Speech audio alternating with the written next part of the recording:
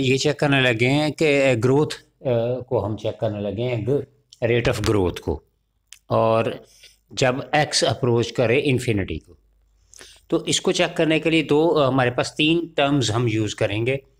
जब function grow करे जी से और इनफे इनफाइनाइट आ जाए, और जब ज़ीरो के इक्वल आ जाए तो एफ़ ग्रो करेगा स्लो और अगर वो लिमिट के इक्वल आ जाए यानी कि हमारे पास आंसर जो है रिज़ल्ट जो है, वो लिमिट के इक्वल आ जाए। Limit x approaches to infinite f of x और अपॉन जी ऑफ़ एक्स तो ये जो फ़ंक्शन होगा, वो सेम होगा। इसका रेट जो होगा, वो सेम होगा। तो तीन हम इन डिफरेंट प्रॉपर्टीज़ को हम यूज़ करते हुए हम ये क्वेश्चंस को सॉल्व करेंगे। तो पहला क्वेश्चन दिया हुआ एक्स माइनस थ्री ठीक है?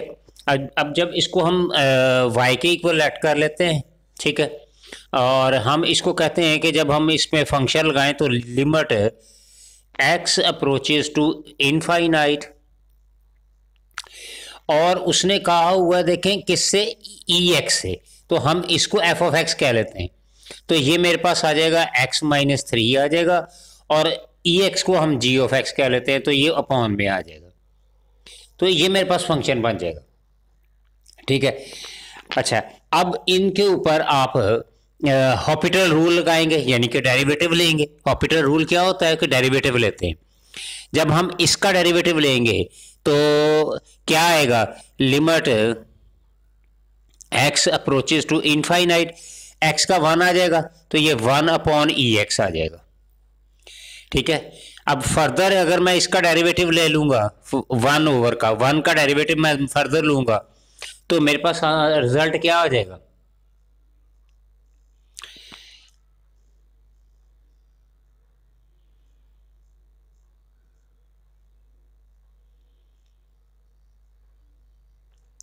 अच्छा अब इसके ऊपर देखें ज़रा, जब हम लिमिट अप्लाई करेंगे तो ये क्या आएगा? वन अपॉन जब इनफाइनाइट करेंगे तो ये इनफाइनाइट आ जाएगा।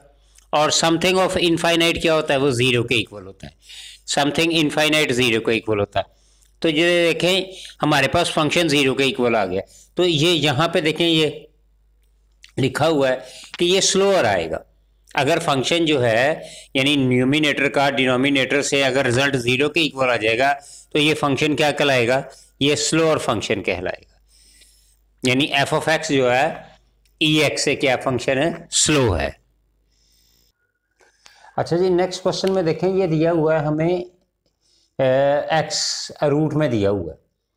हम इसको कंसिडर कर लेते हैं कि ये मेरे पास फ़ंक्शन क्या है एफ़ ऑफ़ एक्स और जो हमें गिवन कंडीशन दी हुई ई एक्स इसको हम जी ऑफ़ एक्स कह लेते हैं। तो हमारे पास ग्रो रेट ऑफ़ ग्रोथ क्या होता है? कि limit x approaches to infinite f of x मेरे पास क्या आ गया? एक्स रूट आ गया और जी ऑफ़ एक्स क्या आ गया? ई e एक्स आ गया। यूँ लिखा गया? अच्छा अब हमने क्या करना है? इसके ऊपर हॉपिटल रूल लगाना है। जब इसके ऊपर हॉपिटल रूल लगाएँगे, यानी कि इसका डेरिवेटिव लेंगे तो इसका जब डेरिवेटिव लेंगे तो ये आ जाएगा limit x approaches to infinite तो ये आ जाएगा one over two under root x और ये ई e एक्स वैसे ही आ जाएगा। ठीक है? इसका जो डेरिवेटिव लेंगे वो तो ये आ जाएगा। अच्छा अब इसको हम मजीद फर्दर हम यू इस तरह लिख सकते हैं। Limit x approaches to infinite one upon two under root x और इंटू ई की पावर एक्स अब आप इसके ऊपर लिमिट लगाएँ। जब आप लिमिट लगाएँगे तो ये क्या हो जाएगा? वन ओवर इनफाइनाइट हो जाएगा।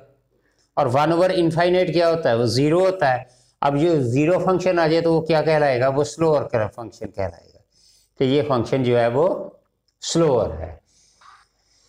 नेक्स्ट मेरे पास क्वेश्चन देखें, ये दिया हुआ है फोर की पावर एक्स हम क्या करते हैं? यहाँ पे अगेन हम रेट ऑफ़ ग्रोथ का फ़ंक्शन लगाते हैं।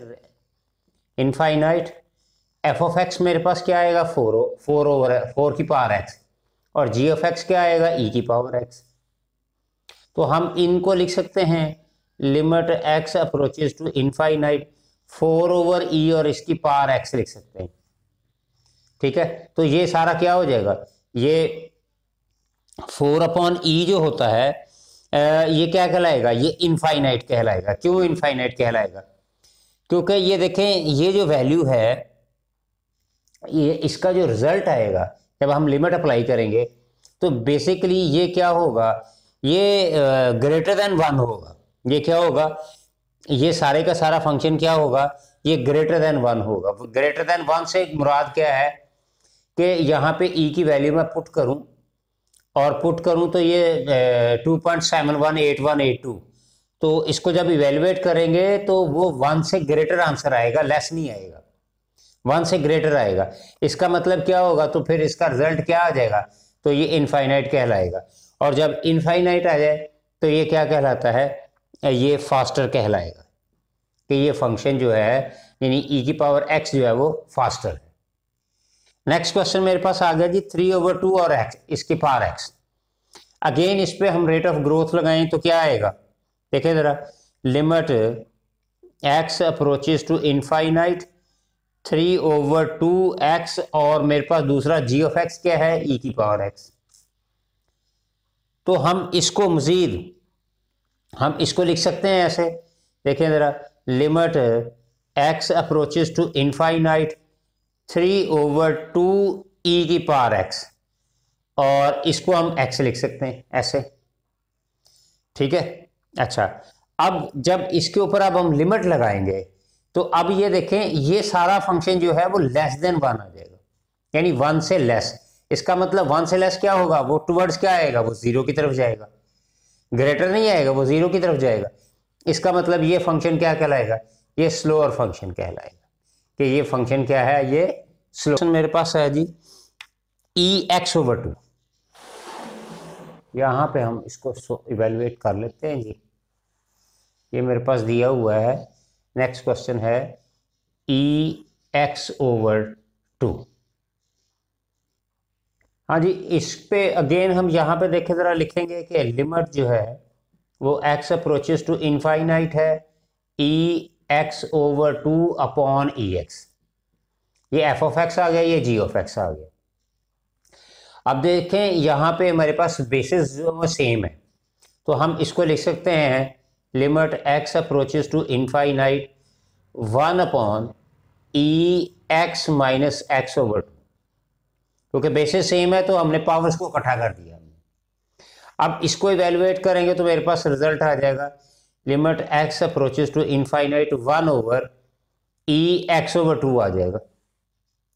अब इसके ऊपर आप लिमिट लगाएँ। तो जब लिमिट लगाएँगे तो ये क्या आएगा? समथिंग इन्फिनिटी आ जाएगा। इसके ऊपर ये सारा क्या आएगा? इन्फिनिटी आ जाएगा। तो समथिंग ओवर इन्फिनिटी क्या होता है? वो क्या होगा? वो ज़ीरो होगा। इसका मतलब एफ़ फ़ंक्शन क्या है? वो स्लोअर है। ये फ़ंक्शन क्या है? वो स्लोअर हाँ जी नेक्स्ट क्वेश्चन देखें, ये लिखा हुआ है लॉग बेस टेन और पावर एक्स है।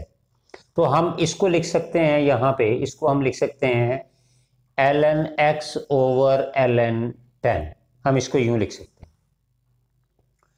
अच्छा अब हम रेट ऑफ़ ग्रोथ का फ़ंक्शन फार्मूला लगाए हम। Limit x approaches to infinite f of x ये सारा ही आ गया। L n x upon l n ten और ओवर में जी ऑफ़ एक्स क्या मेरे पास आ गया? ई e एक्स आ गया। ये आ गया। ठीक है?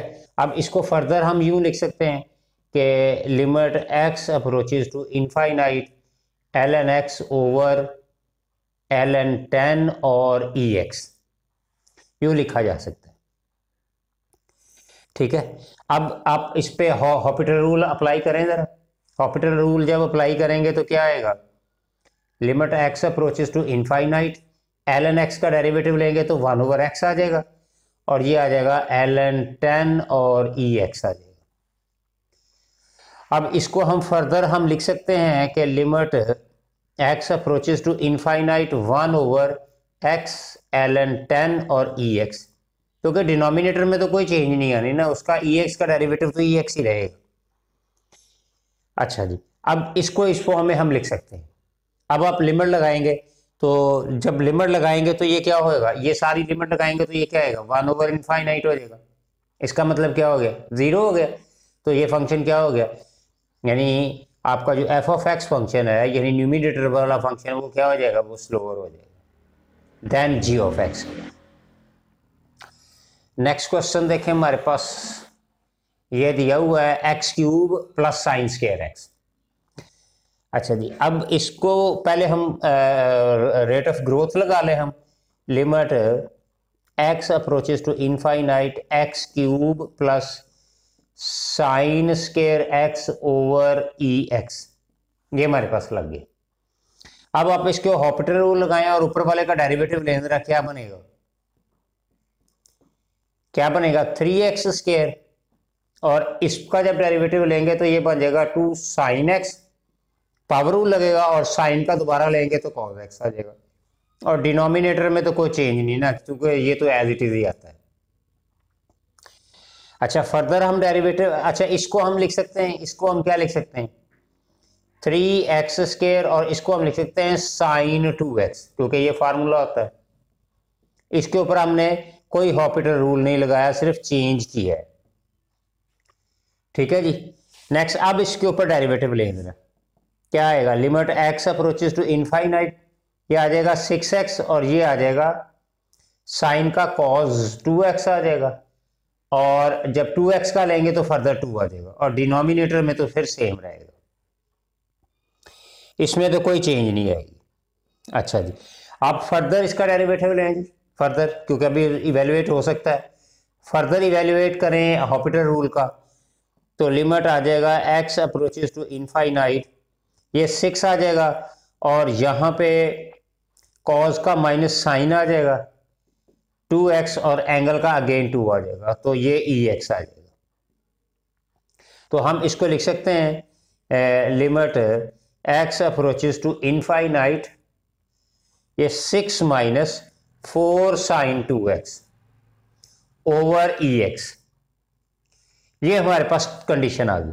अब यहाँ पे इस क्वेश्चन के अंदर कंडीशंस जो होती हैं, ये दो ही वैल्यू हो सकती हैं कि एक तो हम six minus four sine x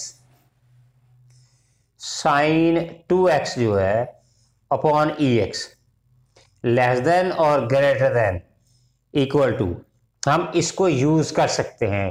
तो ये आ जाएगा for all real values for all real values जब हम इसको अप्लाई करेंगे तो ये सारा जो हो जाएगा वो क्या हो जाएगा? वो ज़ीरो हो जाएगा। ज़ीरो हो जाएगा। किसके लिए? फॉर ऑल रियल वैल्यूज़ तो ये था हमारा क्वेश्चन जी इसका।